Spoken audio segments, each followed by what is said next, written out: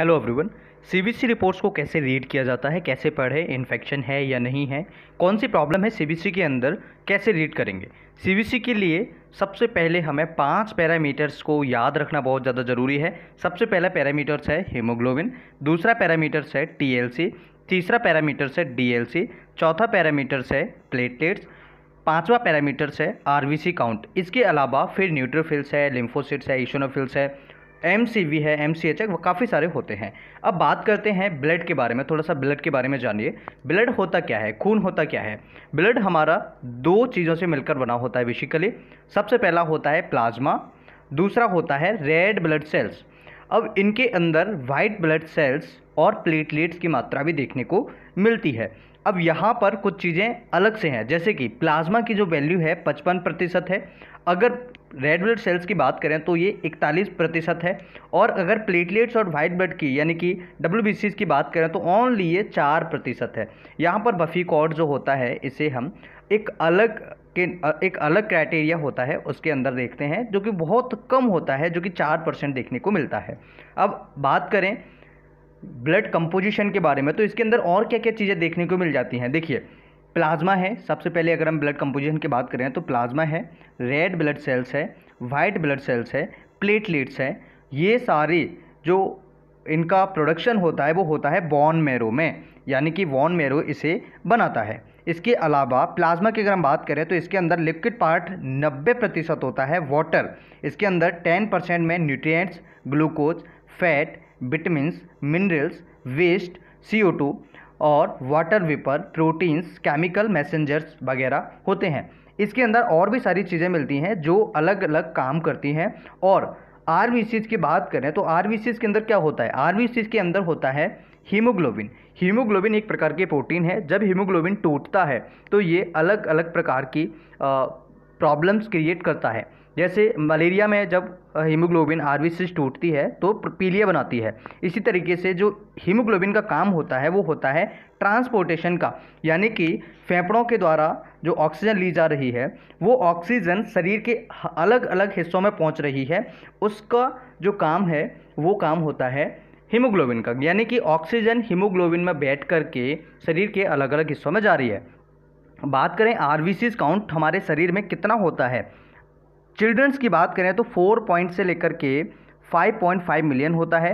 Are अगर birth के time पर देखें, टर्म बेबी में तो ये होता है 5.1 से लेकर के 5.3 और जो प्रीमेच्योर बेबी होते हैं, जो डिलीवरी का समय पूरा होने से पहले हो जाते हैं, उनके अंदर ये अलग वैल्यू में देखने को मिलता है। अब अगर बात करें आर की अंदर जो हीमोग्लोबिन है, उसकी वैल्यू हमारे शरीर में कितनी होती है तो हीमोग्लोबिन की जो वैल्यू होती है, मेन के अंदर वो 13.5 से लेकर के 7. 17.5 ग्राम होता है पर डेसीलीटर और वुमेन यानी महिलाओं की बात करें तो ये 12 से लेकर के 15.5 ग्राम पर डेसीलीटर में देखने को मिलता है। अब आप कहेंगे, महिलाओं में कम क्यों होता है? ये उसका रीज़न ही होता है। मेशो साइकिल यानी मासिक धर्म के कारण इनके अंदर फीमेल्स के अंदर ये कम देखने को मिलता है। अब बात करें आर के अंदर, जो हमारे खून के अंदर आरडीडब्ल्यू है, वो कितना होता है और वो क्या है? जो आरडीडब्ल्यू हमारे शरीर के अंदर होता है, जो हमारे खून के अंदर होता है, उसका जो स्टैंडर्ड साइज़ है, वो सिक्स टू एट माइक्रोमीटर्स है डायमीटर और अगर आर डी डब्ल्यू बढ़ा हुआ है, इसका मतलब है कि हमारी जो आर है, उसकी रेंज और साइज़ जो है बढ़ गई है। साइज़ जो है, वो बढ़ गई है लार्ज हो गई है। बड़ी आर हमें देखने को मिलेगी। अगर आर डी डब्ल्यू हमारा एलिवेटेड होगा, बढ़ा हुआ देखने को मिलेगा तो। अब अगर बात करें आर जो है उसका, उसके अंदर जो आर डी डब्ल्यू हम देख रहे थे, उसका परसेंटेज कितना होना चाहिए हमारे शरीर के अंदर? एडल्ट की बात करें तो 12.2 से लेकर के 16.1 परसेंटेज एडल्ट फीमेल में होता है और 11.8 टू 14.5 परसेंटेज एडल्ट मेल में होता है। तो ये अलग अलग कैटेगरीज है। ये देखिए, देख सकते हैं आप। तो ये भी एक अलग कैटेगरीज और ये बताता है कि हमारी आर का जो साइज़ है वो बढ़ गया है। अब अगर हाई हो जाए आरडीडब्ल्यू इसका मतलब है कि हमारे शरीर के अंदर या तो न्यूट्रिशन डेफिशिएंसी है, या फिर हमारे शरीर के अंदर आयरन डेफिशिएंसी है, या फिर हमारे शरीर के अंदर फॉलेट की कमी है, या फिर vitamin D vitamin B twelve की कमी है डेफिशिएंसी है, ये हाई होने पर हमें इंडिकेशन देता है, यानी कि अगर आरडीडब्ल्यू हाई हो जाता है तो ये सारी प्रॉब्लम्स आपको हो सकती हैं, इनमें से कोई एक प्रॉब्लम भी आपको देखने को मिल सकती है। अगर आरडीडब्ल्यू लो हो जाए कम हो जाए तो क्या होगा? तो इसमें आपको हेमेटोलॉजिकल जो डिसऑर्डर्स होते हैं उसमें कोई भी ज़्यादा प्रॉब्लम देखने को नहीं मिलती है। यानी कि लो आरडीडब्ल्यू जो है, अगर आरडीडब्ल्यू लो है तो उसमें कोई स्पेसिफिक हेमेटोलॉजिकल डिसऑर्डर्स जो होते हैं, वो नहीं देखने को मिलते हैं। तो अगर लो आर हो जाता है तो इसमें घबराने की आपको कोई भी बात नहीं है। वो अगर कोई अलग बीमारी है क्रॉनिक कोई प्रॉब्लम चल रही है तो एक बात अलग है। तो इसमें आपको याद रखना होगा, लो जो आर डी डब्ल्यू होता है, उसमें कोई भी परेशानी वाली बात नहीं है। अब बात करें हमारा ल्यूकोसिट्स काउंट की, यानी कि डब्ल्यूबीसी की। अब डब्ल्यू जो इन्फेंट में होता है, वो होता है बीस हज़ार। अगर चिल्ड्रन की बात करें तो वो होता है दस हज़ार से पंद्रह हज़ार और एडल्ट की बात करें तो ये चार हज़ार से ग्यारह हज़ार होता है। अब इसके कम होने के, बढ़ने के कुछ अलग अलग रीजन्स होते हैं। ये फिजियोलॉजिकल वेरियंस की बात बात करें तो यहाँ पर सेक्स यानी कि मेल है या फीमेल है तो ये मेल के अंदर ज़्यादा होता है। अब अगर बात करें कोई सीरियस प्रॉब्लम की वजह से जो डब्ल्यू बढ़ता है टीएलसी बढ़ता है तो अस्थमा में बढ़ सकता है। प्रेगनेंसी में बढ़ा हुआ देखने को मिल सकता है। इन्फेक्शन सच एज ट्यूबाक्लोसिस में बढ़ा हुआ देखने को मिल सकता है।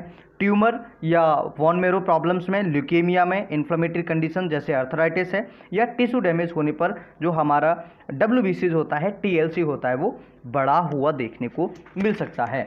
इसके अलावा अगर मान के चलिए किसी का डब्ल्यू कम हो जाता है, उसे हम ल्यूकोपेनिया कहते हैं। तो ऐसी सिचुएशन कौन सी कौन सी हो सकती है? जैसे होता है एप्लास्टिक एनीमिया ये हमारी वॉन मेरो की बीमारी होती है, या माइलोफाइब्रोसिस ये भी हमारी वॉन यानी हड्डी की अंदर जो वॉन मेरो होता है, उसकी प्रॉब्लम होती है। कैंसर में कम हो सकता है या कैंसर का ट्रीटमेंट चल रहा हो, तब कम हो सकता है। कंजेनाइटल प्रॉब्लम्स जैसे कोस्टमैन सिंड्रोम या माइलोटैक्सिस होता है। इन्फेक्शन डिसीज जैसे H I V tuberculosis autoimmune disease like lupus rheumatoid arthritis या विटामिन एंड मिनरल डेफिशिएंसी के अंदर हमारा जो डब्ल्यू होता है, वो कम हो जाता है। अब बात करें डिफरेंशियल ल्यूकोसिट्स यानी कि डीएलसी अब इसमें हमारे पाँच सेल्स आ जाते हैं। सबसे पहला होता है न्यूट्रोफिल्स दूसरा होता है ईशोनोफिल्स तीसरा होता है बेसोफिल्स चौथा होता है मोनोसिट्स और पांचवा होता है लिम्फोसिट्स इनके बारे में डिटेल में समझते हैं कि ये कब बढ़ते हैं, कब कम होते हैं और इन्हें कैसे हम सही तरीके से अरेंज करें और कैसे इन्हें हम समझें। न्यूट्रोफिल्स क्या है एशनोफिल्स क्या है बेसोफिल्स क्या है मोनोसिट्स क्या है या लिम्फोसिट्स क्या होता है। तो अब बात समझिए वाइट ब्लड सेल्स के बारे में, यानी कि डब्ल्यू के बारे में। डब्ल्यू के अंदर न्यूट्रोफिल्स जो होता है न्यूट्रोफिल्स हमारा कब बढ़ता है? जब हमारे शरीर के अंदर कोई इन्फेक्शन जाता है, या कोई एंजाइम्स है, या कोई वायरस बैक्टीरिया है तो न्यूट्रोफिल्स एक एंजाइम को प्रोड्यूस करता है, एक रिलीज़ करता है इस सब्सटेंस को, और जो सब्सटेंस होता है, वो इन जो वायरस होता है बैक्टीरिया होता है, इसे इन्वेडिंग करता है, यानी कि उसे खत्म करने की कोशिश करता है।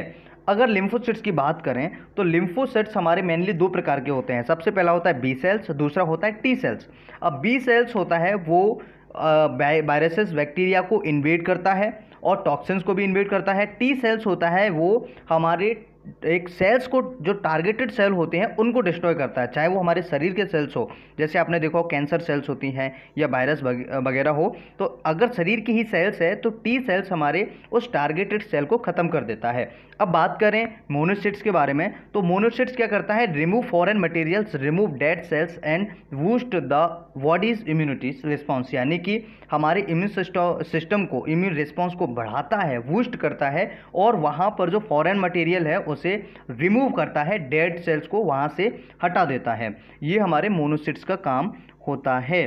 रिस्पांस को भी बढ़ाता है हमारे इम्यून रिस्पांस को। अब अगर आगे बात करें, आगे मोनोसिट्स के अलावा बहुत सारी चीज़ें होती है, जैसे वेसोफिल्स है। तो वेसोफिल्स का काम क्या होता है? ये एक एंजाइम को रिलीज़ करता है, जो एलर्जिक रिएक्शंस को कंट्रोल करता है या अस्थमा अटैक्स में। जैसे कि किसी को एलर्जिक रिएक्शन हुए या फिर अस्थमा का अटैक हुआ तो ऐसी सिचुएशन में हमारा वेसोफिल्स जो होता है, वो रिलीज़ होगा और एंजाइम्स को रिलीज़ करेगा। तो ये हमें इंडिकेशन करता है कि हमें कोई एलर्जिक रिएक्शन है या फिर कोई अस्थमा की प्रॉब्लम है, फेफड़ों से रिलेटेड कोई प्रॉब्लम है। अब बात करते हैं नई सेल्स के बारे में, जैसे ईसोनोफिल्स है। तो ईसोनोफिल्स जो हमारा होता है, वो इन्फेक्शन से फाइट करता है। ईसोनोफिल्स एलर्जिक रिएक्शन में भी काम आता है इन्फ्लामेशन में भी काम आता है। और ये हमारे शरीर के जो पैरासिट्स होते हैं बैक्टीरियाज होते हैं, उनको भी डिफेंड करता है। तो यहाँ पर काफ़ी सारी हेल्प करता है ईसोनोफिल्स अगर किसी को पेट में कीड़े हैं एलर्जिक रिएक्शंस हैं। तो ऐसी सिचुएशन में ईसोनोफिल्स हमारा बढ़ता है। अब अगर बात करें प्लेटलेट्स के बारे में तो प्लेटलेट्स क्यों काम आता है? देखिए प्लेटलेट्स हमारे क्लॉट को जमाने के लिए बहुत ज़्यादा यूज़ होता है। क्लॉट बनाने के लिए बहुत ज़्यादा यूज़ होता है। जैसे किसी को ब्लीडिंग हो रही है, किसी की वेसल्स रप्चर्ड हो गई है, डैमेज हो गई है तो ये प्लेटलेट्स क्या होता है, हमारे शरीर के सिग्नल्स जाते हैं प्लेटलेट्स के लिए और प्लेटलेट्स रिलीज़ होना स्टार्ट हो जाते हैं, ज़्यादा बनना स्टार्ट हो जाते हैं, ज़्यादा निकलना स्टार्ट हो जाते हैं, जो क्लॉट बनाने में मदद करते हैं, यानी कि खून रोकने में मदद करते हैं।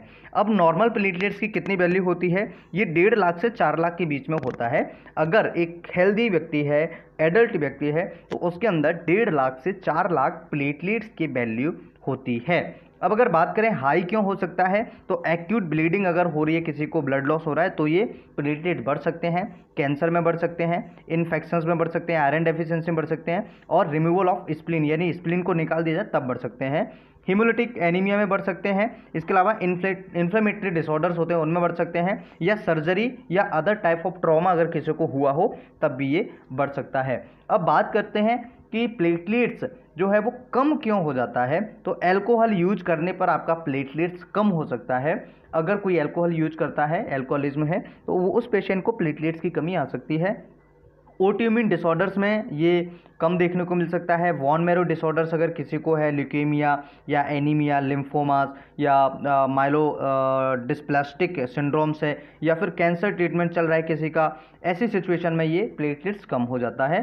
अब बात करते हैं एरिथ्रोसिट्स के बारे में। एरिथ्रोसिट्स यानी कि एरिथ्रोसिट्स ई एस आर जैसे हम बोलते हैं, ये क्या होता है? ये हमारे शरीर के अंदर मेजर करता है कि एरिथ्रोसिट्स जो है वो सेटल डाउन कितनी जल्दी हो रहा है। जैसे ये एक नली है, इसके अंदर हमने खून भरा तो ये जो आर है वो कितनी जल्दी नीचे बैठ रहा है? इसे हम कहते हैं ई एस आर तो ये एक सिंपल है। तो R B E S R जब हाई होता है, इसके कॉज क्या होते हैं? क्या क्या रीजंस होते हैं? सबसे पहला रीजन होता है इन्फ्लामेटरी कंडीशन में, जैसे इन्फेक्शन है रिमोटो अर्थराइटिस है रिमोटिक फीवर है वॉस्कुलर डिसीज है इन्फ्लामेटरी वॉवल डिसीज है हार्ट डिसीज है किडनी डिसीज है एंड सर्टन कैंसर्स है। तो इस प्रॉब्लम्स में आपका ईएसआर हाई हो सकता है। लो कब होता है? Polycythaemia sickle cell anaemia leukocytosis या abnormal increase in white cells यानी कि जब हमारी हमारी वाइट सेल्स बढ़ती हैं, तब बढ़ सकता तब हमारा ये ये सर कम हो सकता है पॉलीसाइथेमिया में कम हो सकता है सिकल्स एनीमिया में भी लो ईएसआर हमें देखने को मिल सकता है।